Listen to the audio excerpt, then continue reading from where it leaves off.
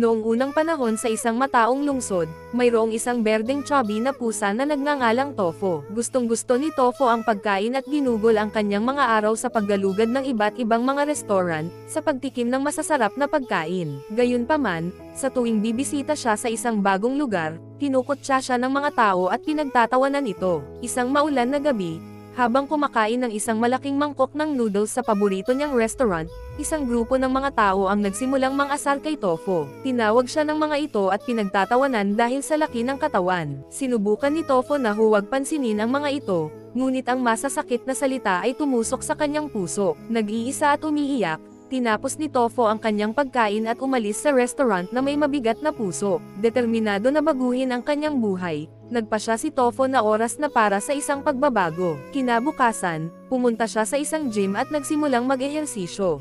Nag-jogging siya tuwing umaga, nagbubuhat ng timbang, at sumunod sa isang malusog na jeta. Mahirap sa una, ngunit nagtyaga si Tofo, na ng pagnanais na gamaan ang pakiramdam tungkol sa kanyang sarili.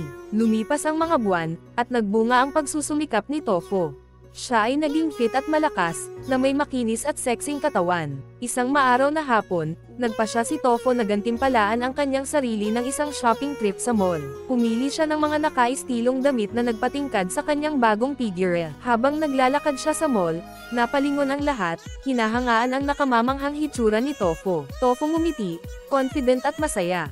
Napagtanto niya na ang tunay na kagandahan ay nagmumula sa loob at siya ay palaging espesyal, anuman ang kanyang laki. Mula sa araw na iyon, niyakap ni Tofo ang kanyang bagong pamumuhay, ipinagmamalaki ang kanyang paglalakbay at ang naging pagkatao niya.